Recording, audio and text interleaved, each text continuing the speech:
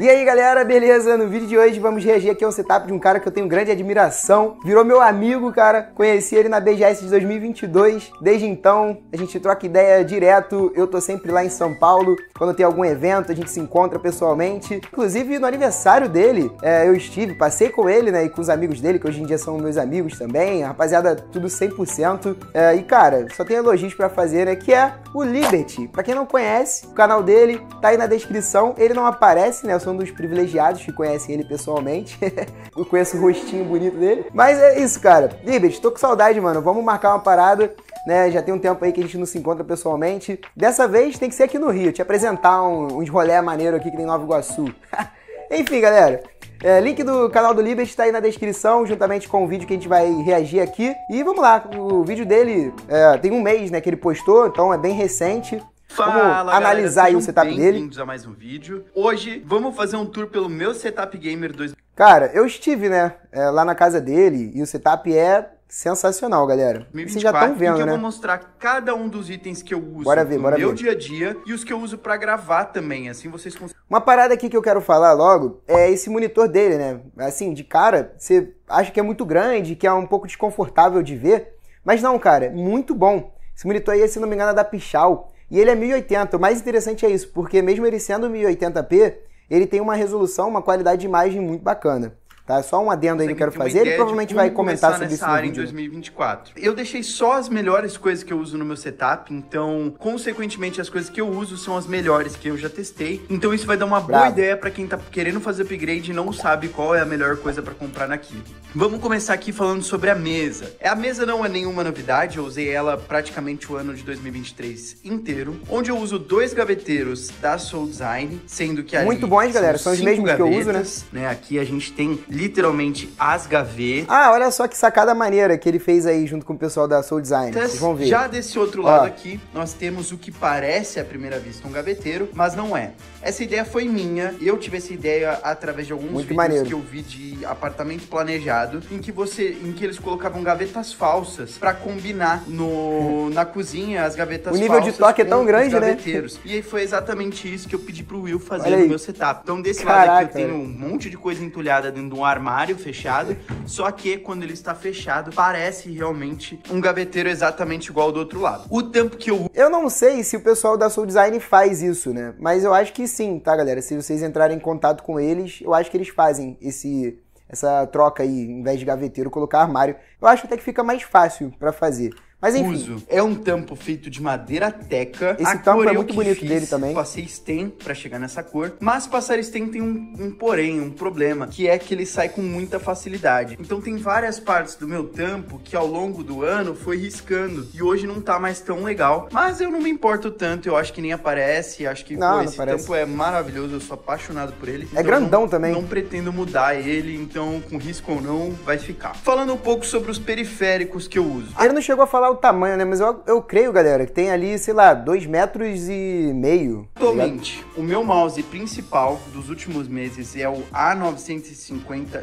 de magnésio da Daril. O motivo para usar ele é, ele já vem com um dango 4K nativo, ele é bem leve, ele pesa 54 gramas. Ele é o único mouse de, de magnésio que eu já usei, então isso dá uma exclusividade para ele. Eu gosto realmente de usar os melhores que eu já testei e ele é, cara, excepcional. Um mouse fenomenal. Se eu não me engano, quando eu estive na casa dele, tinha acabado de chegar esse mouse. Esse mouse e o mousepad também de vidro. fenomenal, os fits são excelentes. O scroll, mano, tem esse detalhe aqui desenhado em japonês. Ele esteticamente é muito parecido com o Razer Viper Signature e ele combina muito bem com o mousepad, porque ele faz um contraste incrível. O mousepad que eu uso é da Pulsar, o modelo Super Glide tamanho extra large. Ele tem 49 por 42, é um mousepad de vidro. Caso alguém nunca tenha visto o mousepad de vidro, eu vou deixar no card agora o review dele. É um mousepad duro de vidro. Queria então testar. ele é Eu realmente não cheguei a testar, né, porque super escorregadio. Pra jogos tinha de, de de chegar lá na casa ele é o dele, melhor. Tipo, COD não, não tem mousepad melhor que esse, porque pra tracking ele é imbatível. O E tem um ponto né, interessante também desse mousepad aí, em vidro, é que apesar dele ser branco, não vai ter o problema de sujar, né? Que é o principal problema de mousepad de tecido branco, com cores claras. Mancha com muita facilidade, né? Esse aí não, só passou um paninho e tá suave, né?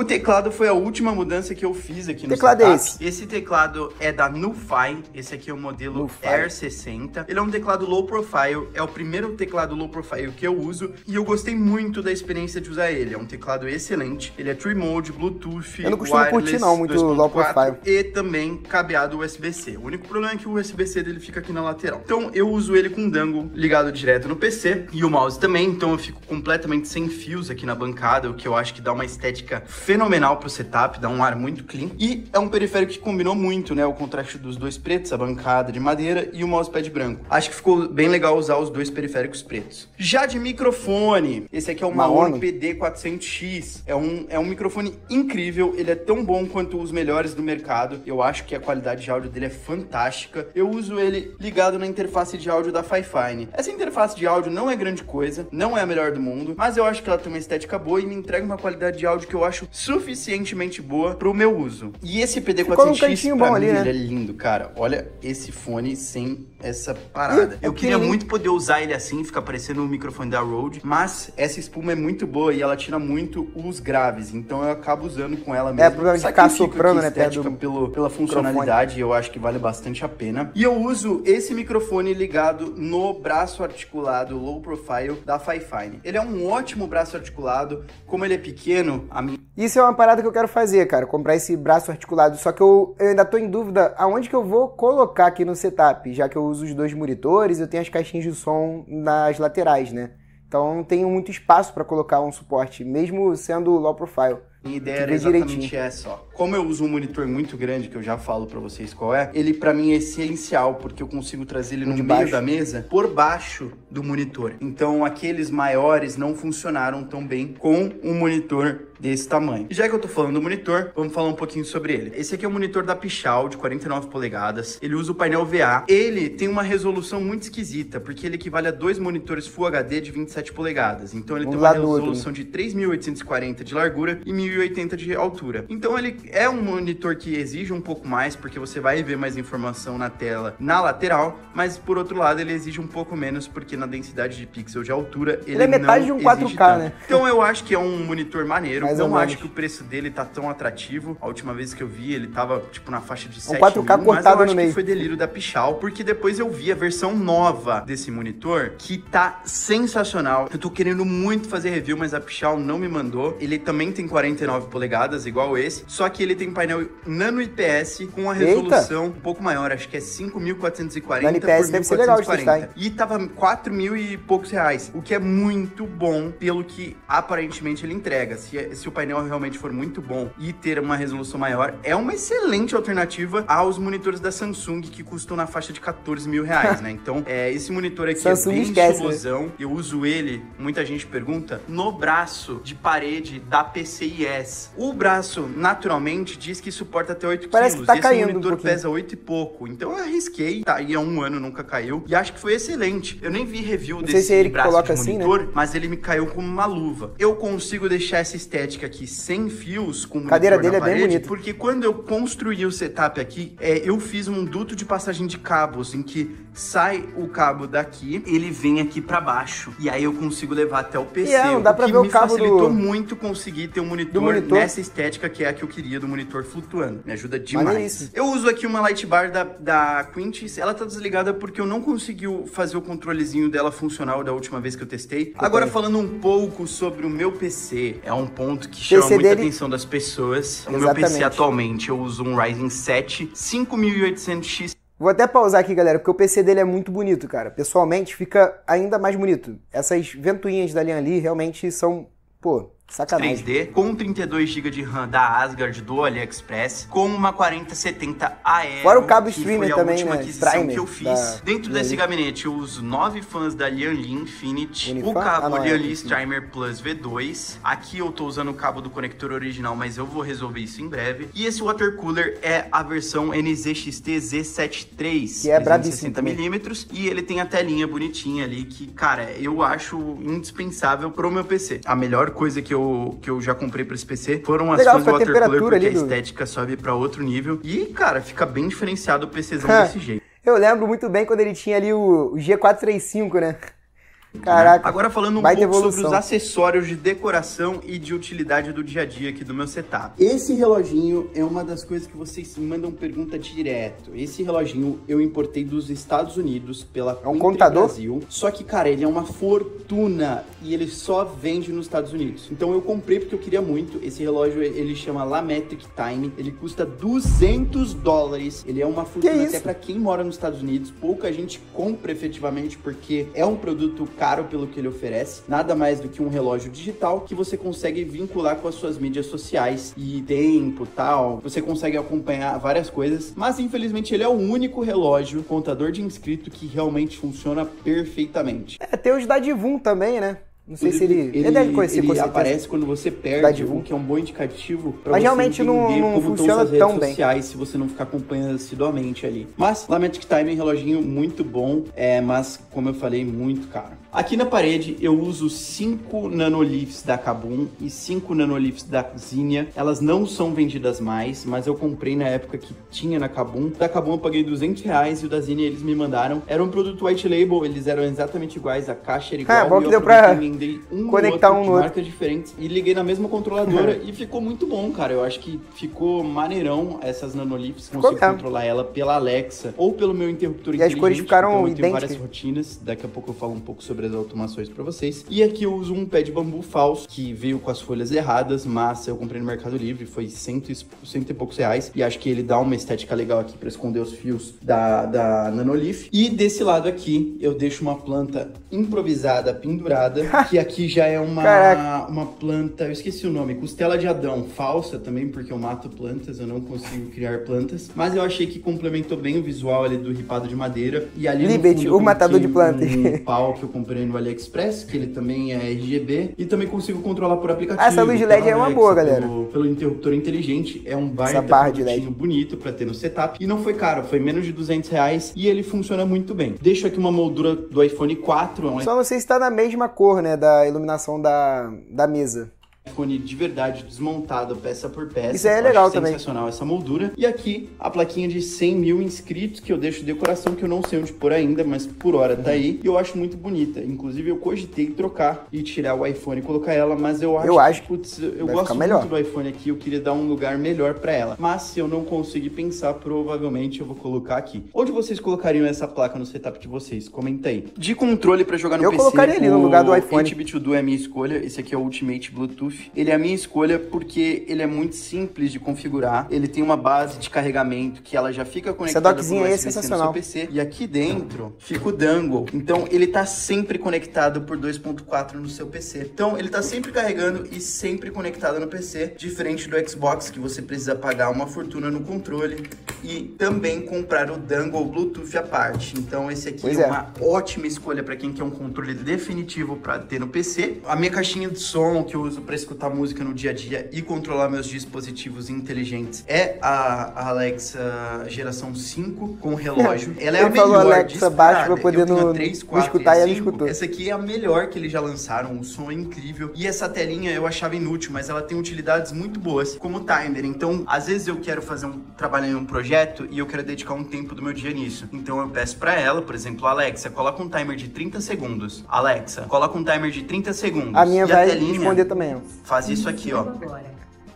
Fica o timer lá. Então é como se fosse um relógio de Pomodoro. Muita gente Ah, não maneiro. sabe que a Alexa com tela tem essa função, além de só mostrar a hora, mas eu acho uma excelente função para quem quer ser mais produtivo, trabalhar em projetos escalados com horário. Então eu acho que isso aqui é bem legal para mais produtividade. O meu headset, eu uso ele aqui embaixo, eu deixo ele pendurado por esse suporte que eu- esse suporte que eu comprei no Mercado G733. Livre, foi super barato, eu paguei acho que 18 reais já com a fita Bom que fica 3M escondido, e eu né? deixo pendurado aqui. O headset que eu uso é o G733 Wireless. É o melhor headset sem fio que eu já usei. É, eu já usei os mais baratinhos, como por exemplo o G435 e o Tamago. Nada se compara com ele. O som é excelente. E é muito ele não tem confortável delay também, nenhum. né? E eu já tô usando ele há um ano e ele tá como se estivesse no primeiro dia. As earpads deram uma sujada, mas ainda não é o ponto de trocar. Quando eu for trocar, eu compro lá no Ali, vende as earpads separadas e a bandagem também. Se ela ficar muito frouxa, eu consigo trocar. Então, basicamente, esse aqui é um headset que talvez Eu já usei muito muitos tempo, e né? muitos e muitos anos, porque realmente ele é modular, eu consigo comprar as peças peças aqui que estragam. E é um headset muito, muito bom para quem quer um headset definitivo. Ah, quero comprar um headset sem fio, não quero trocar nos próximos 5 anos. Vai de G733, que é excelente. Uma pena que ele não tem Bluetooth, então ele serve só para PC, mas para minha utilidade é excelente. Porque quando eu quero usar o meu Bluetooth, eu uso esse carinha aqui, que é o AirPods 2 Pro USB-C, a última versão que tem do AirPods Pro. E cara, eu achava que era firula pagar tão caro num fone de ouvido Bluetooth, até eu ter coragem pagar. Eu comprei esse aqui no Paraguai, eu paguei acho que 1.300 reais. E cara, na prime no primeiro momento eu achei um absurdo, de verdade, pagar tão caro. Mas para quem tem dispositivo iOS, a conectividade dele é algo sem, sem base, é muito bom e ele tem algumas tecnologias que são muito interessantes. Por exemplo, você está mexendo no celular, você tira o fone de ouvido e põe na mesa, o som volta a sair no celular. Você pega o fone na mão, ele já conecta no fone de novo. Então é excelente, é um fone com muitas tecnologias interessantes, com cancelamento de ruído ativo é disparado, o melhor que eu já vi para você usar, por exemplo, no escritório, quando eu vou presencial uma vez por semana, e aí eu aproveito e uso ele lá quando eu quero focar, porque não dá para ouvir nem uma obra do seu lado com esse fone. É incrível. Não é à toa que é o, o fone wireless in-ear preferido do Léo do Mind the Headphone. Então, meu fone ah, mas, Bluetooth lá, principal caro, é esse, né? mas sempre que eu vou viajar eu acabo usando. Que ele comprou do Paraguai, né? Não se H3. Disso. É um headphone Bluetooth barato. de muita qualidade e preço imbatível. Ele custa menos de 300 reais. É um fone Bluetooth de qualidade e ele tem cancelamento de ruído ativo, ele tem vários modos de equalização por aplicativo e eu uso ele para viajar porque eu tenho o costume de dormir dentro de ônibus e avião. Então acaba sendo uma opção. Cara, eu não consigo de jeito nenhum dormir. Avião e ônibus. Eu fico. Eu dou uma cochilada e já acordo logo, tá ligado? Mais é horrível, porque eu chego mim, cansado nos lugares. do meu, do meu AirPods cair. Então quando eu viajo. Eu prefiro eu o avião, porque é mais rápido. H3, headset muito bom pelo custo-benefício. Ele, ele, ele é bem dobrável, assim, ele tem várias hastes de ajuste, então você consegue colocar Parece qualquer mala pequena, também. você consegue levar para academia, caso seja do seu gosto. Eu não curto esse tipo de fone para atividade física, mas para viajar é sempre a minha escolha um headphone para não cair meu fone é, no vão do banco, pelo chão do avião, sei lá que seja, e eu nunca mais achar. Então, quando eu hum. viajo, eu uso esse fone aqui. No dia a dia, eu uso o AirPods. Bom, Cara, já pensou? Eu... O AirPods cai no meio do ali entre o trem e a plataforma? Eita, eu, ferro. Eu cobri todos os pontos. Ah, esqueci de falar da cadeira, né? A minha cadeira é a Cozy T03. Eu fiz vídeo dela recente, inclusive. Essa cadeira eu não um cheguei a testar também quando eu tive lá. Eu comprei ela no Mercado Bonito, Livre, eu paguei R$ 1.300. Chegou no dia seguinte e eu vi que não tinha review dela no YouTube e aproveitei e fiz um review dela. Eu comprei ela principalmente por causa da estética, eu achei linda no meu setup. Combinou Pô, demais, é cara. Imbatível, fica incrível. Só que ela tem, ela é muito clara clara, então ela acaba sujando com facilidade. Eu é, ainda não, não descobri jeito. como limpar. Mas houve um atrito pelo seguinte: eu fiz vídeo dessa cadeira e ele viralizou em todas as redes sociais e gerou uma venda absurda da cadeira. O vendedor até chegou a me mandar mensagem falando que ele tinha um estoque, acho que de 40 ou 50 cadeiras. Depois que eu postei o vídeo, ele vendeu o estoque inteiro, abriu pré-venda e vendeu o estoque da pré-venda inteira. Então ele acabou vendendo muito mais do que ele esperava e teve até problema para entregar. E aí começou uma galera a comentar no vídeo falando que não tinha chegado. E eu tô acompanhando todos os comentários Caraca. e tem muita gente que no primeiro momento comentou que não tinha chegado, que tava preocupado. Passou alguns dias e teve muita gente que respondeu o próprio comentário falando: agora chegou e a cadeira é muito boa. Então, quem quiser hum. review específico dessa cadeira, é, tem também, vou deixar aí no card, também tem no canal. Assim como de qualquer outra coisa aqui, tem vídeo de tudo. Tem a evolução desde Se tivesse uma preta, onde é cinza ali, seria ainda melhor, né? Porque aí evita de sujar e combina com a maioria dos setups que a galera monta, que é tipo preto e branco. Se quando eu tinha um Pentium até hoje, tem a evolução do setup, da construção desse espaço Aí, peraí, inteiro. Que tinha um Pentium? Inclusive, a última coisa de investimento que eu fiz aqui no canal foi um ar-condicionado. E eu ah, esperei quase coisa. um mês para fazer esse vídeo para trazer minha opinião sobre ele para vocês, tá? Esse ar-condicionado, ele é o Samsung Windfree Connect. É a versão... É, esse aqui é de 12 mil BTU. Eu comprei porque, cara, São Paulo tá um inferno, tá sempre muito calor. Imagina eu tava aqui, sofrendo sofrendo muito com o ventilador vagabundo, principalmente porque eu uso luzes para gravar e eu tenho que fechar tudo aqui para não ficar barulho do vizinho e tal. Então eu sofria muito com calor, porque eu não podia ligar nem o ventilador, nem abrir a janela, nem abrir a porta, ainda ficava com as luzes ligadas. Então era um verdadeiro inferno aqui dentro quando eu ia gravar. Galera, esse Pô, fica bravo, já passei um muito tempo com isso que eu fiz, porque pasmem, minha conta de luz aumentou 50 reais usando esse ar todos os dias por cerca de 12 horas todos os dias. Ele é inverter, né? Sempre que ele chega na temperatura certa, ele desliga e liga automaticamente, então ele não fica ligado o tempo inteiro trabalhando naquela temperatura. Ele tem essa função aqui que ele não sai vento, ele fecha essa canaleta para não voar o jato de vento em alguém. Mas uma coisa que ninguém fala sobre esse ar wind free é que quando você fecha, sai muito vento sim só que ele vem para baixo. Então, como ele tá bem em cima de onde eu tô, ele me, ele me ventila mais quando eu ligo o modo wind free do que no modo que eu jogo a paleta para lá. Mas é um excelente ar, ele já tem conectividade com a Alexa nativa, então consigo criar rotinas como Alexa, desliga o ar. Isso ele já funciona lá nativo, Cai, desligou. eu não preciso fazer nada. E Alexa, liga o ar. E Ai, o melhor de tudo é que ele, além de ser muito a econômico, minha tá ele tem um app nessa versão Connect que mostra o consumo em tempo real dele. Ele projeta o quanto ele vai gastar no final do mês, considerando os dias do mês Pô, que ele já calculou. E ele calcula com base no quilowatt-hora da sua região. Então você, quando você baixa o aplicativo, ele pede o seu CEP e ele calcula o custo de energia pelo seu CEP. Então ele tem uma precisão no custo de energia muito boa. E é o que eu falei, ele consumiu praticamente só 50 reais a mais na minha conta de luz usando todos os dias. Eu, inclusive, quero comprar mais um para colocar no meu quarto, porque no inverno a minha casa é de bloco, fica muito frio, e no inverno eu quero comprar um que esquenta e esfria. Inclusive, e aí acaba compensando, né? Porque, tipo, tu paga um pouquinho mais caro no ar-condicionado, mas no final das contas você economiza na conta de luz. Inclusive, ele é muito silencioso. Tipo, ele tá ligado agora. Tipo, é muito, muito silencioso, de verdade, é incrível. Eu gostei muito desse ar. Muita gente veio pedir pra eu falar sobre ele, tô falando nessa oportunidade e pretendo fazer um, um vídeo curto sobre ele também pra ajudar as pessoas a encontrarem essa belezinha aqui. Eu comprei na Black Friday, eu paguei 2,300. Inclusive, eu vou deixar o link dele, de tudo mais que tem no meu setup aí na descrição, caso você tenha interesse. Mas, ótimo ar. E agora vamos falar aqui um pouco sobre esse pedaço que é onde eu uso pra gravar Essa mesa dele é muito bonita. Pra vocês. Também. Tá, galera, esse trecho aí que ele tá mostrando a parte de gravação, eu vou deixar para vocês assistirem aí no vídeo completo, tá? Que tá na descrição. Bom, galera, no geral, esse aqui é meu setup atualizado 2024. Eu tenho que muito fazer bonito. um vídeo do setup All Black também, que tá meio estagnado, porque na... eu não tenho usado muito. Mas tipo assim, vou, galera, vou na um minha vídeo. opinião, é um dos setups mais bonitos do Brasil, tá? Não sei se vocês concordam comigo. Para vocês eu sou... como ele tá atualmente. Eu tenho várias automações aqui Fã, no meu setup, né, setup desde automação de presença, sempre que eu não estou aqui, a Alexa desliga tudo. Sempre que eu Pô, entro maneiro, aqui e o, de, o sensor de presença detecta que eu estou, ele liga tudo, incluindo o ar, dependendo da temperatura, os LEDs e tal. É fantástico. Eu tenho automação ali também. Alexa, desliga softbox.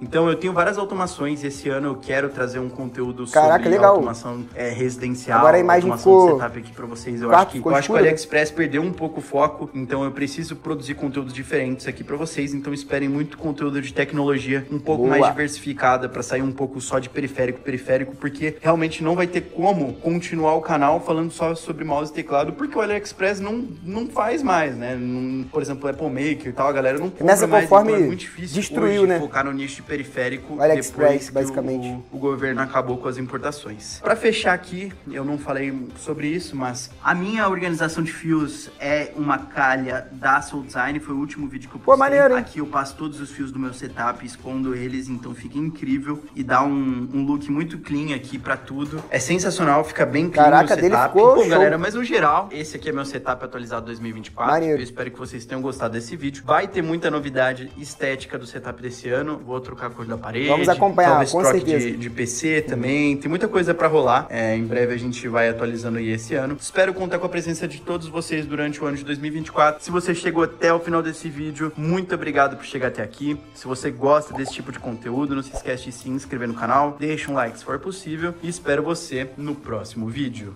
Bom, então é isso, rapaziada. Vídeo do Liberty completíssimo, né? Eu acho que um tour dos mais completos que eu já vi aqui pelo YouTube. Mais uma vez, o link desse vídeo para vocês assistirem na íntegra. Eu fui dando uns cortes aí, né? Vai estar tá na descrição. E também o canal dele, se inscrevam lá, rapaziada. Deixa aí uma sugestão do próximo vídeo que vocês querem que eu reaja aqui de setup. Um abraço a todos, até o próximo vídeo, valeu e fui!